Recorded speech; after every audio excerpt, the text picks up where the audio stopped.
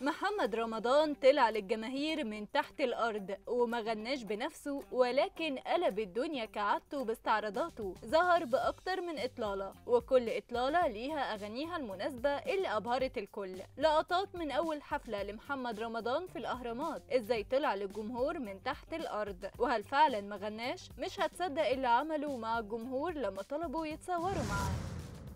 نمبر 1 عمل حفلات كتير جدا طول مشواره الغنائي والفني في كل حتة في مصر وبره مصر وسافر دول كتير جدا إلا مكان واحد ما كانش عمل حفلة فيه وهو الأهرامات. ورغم إن اتعمل أفراح كتير الفترة الأخيرة وشارك مطربين كتير في تقديم فقرات في الأفراح دي زي عمرو دياب وحفلات لمطربين كتير إلا إن محمد رمضان ما حلفهوش الحظ يقف على المسرح ووراه الأهرامات زي ما حصل الساعات اللي فاتت. لكن هو مش بيبص على إيه ما عملهوش ولكن بيبص على اللي وصل له وعمله. فحفلته الساعات اللي فاتت كانت الأولى ليه من الأهرامات. محمد رمضان شارك الجمهور بروفاته قبل الحفلة كل يوم من المسرح ونفس المجهود اللي بيعمله والاستعراضات اللي بنشوفها في الإطلالة النهائية بيعملها لأيام لحد ما يتأكد إن كل حاجة تمام. فهو من الناحية دي متقن جدا وده اللي حصل في حفلته دي. كل التفاصيل متصورة بالصوت والصورة وشارك الجمهور كل اللحظات دي. لحد ما بدأت الحفلة وطلع على المسرح وطبعا أي حاجة غريبة يعملها نمبر وان يحب يكون فريد ومش زي أي حد. محمد رمضان ما طلعش على المسرح الطلعة العادية ولكن طلع للجمهور من تحت الأرض. أيوة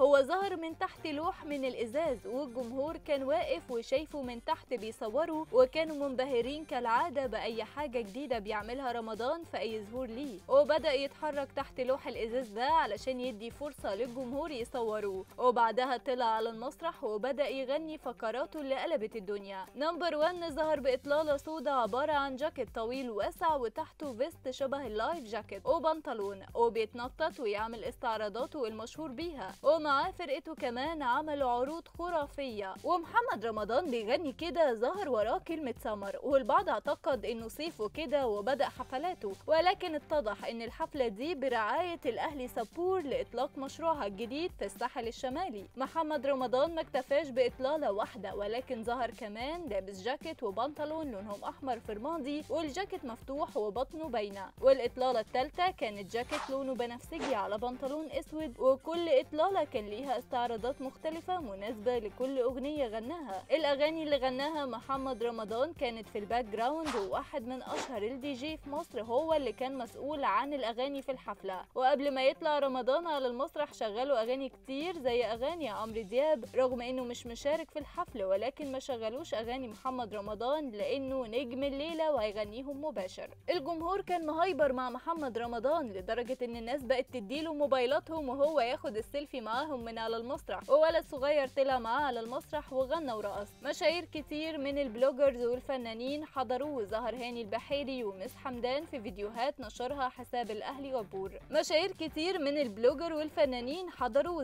هاني البحيري وميس حمدان في فيديوهات نشرها حساب الأهلي صبور ديكور الحفلة كان متكلف جدا ومعمول على أعلى مستوى ومناسب لجو الأهرامات فكان أغلبه عبارة عن ستاير بيضة بتطير في الجو من الهواء وترابيزات وكراسي وكمان في ساحة واسعة مناسبة لعدد الناس اللي كانوا واقفين عند محمد رمضان وهو بيغني. فيا ترى هتكون دي الحفلة الأولى لمحمد رمضان في الأهرامات وبداية لحفلات تانية كتير؟ ورايكم إيه في الإطلالة بتاعته والأجواء اللي هو عملها؟ شاركونا برايكم في التعليقات.